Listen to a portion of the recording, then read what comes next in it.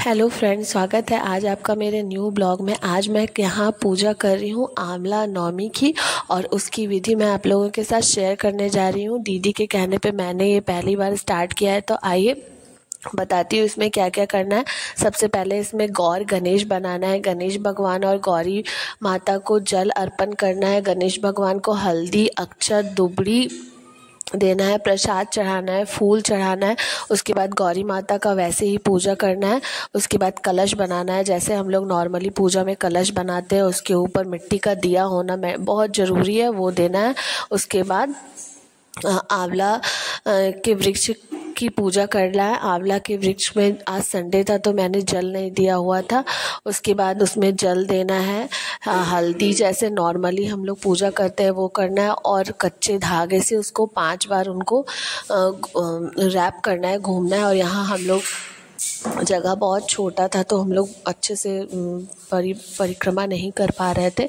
बाकी ग्यारह बार परिक्रमा करना है, ग्यारह बार उनको चढ़ाना है, सिंदूर चढ़ाना है, प्रसाद चढ़ाना है।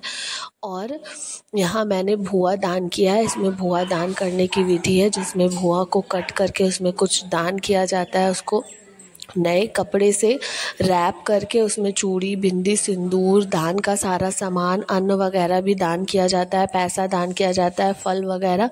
उसके बाद यहाँ पे नौ तरह का अनाज जिसको मिला दिया जाता है और इनको आंवला के वृक्ष को चढ़ाया जाता है। मान्यता है कि आज के दिन आंवला के वृक्ष के पास पूजा करना, वहाँ खाना बनाना, वहाँ सोना और आंवला वगैरह सब चीज़ का दान करने का बहुत मान्यता है। तो आज से मैंने स्टार्ट किया है। बाकी इसी तरह से पूजा करना है। ग्यारह बार हम लोगों ने परिक्रमा की, उनको सिंदूर चढ़ाया, प्रसाद चढ़ाया और सिंदूर चढ़ाना है। उसके बाद हर एक बार सिंदूर को खुद को भी लगाना है, आरती करना है। हम लोगों ने यूट्यूब पे उनका उनका कथा भी सुना था। बस इस तरह मेरा पूजा समाप्त हो गया था। बाकी देखिए, यहाँ मैं और दीदी पूजा कर रहे हैं।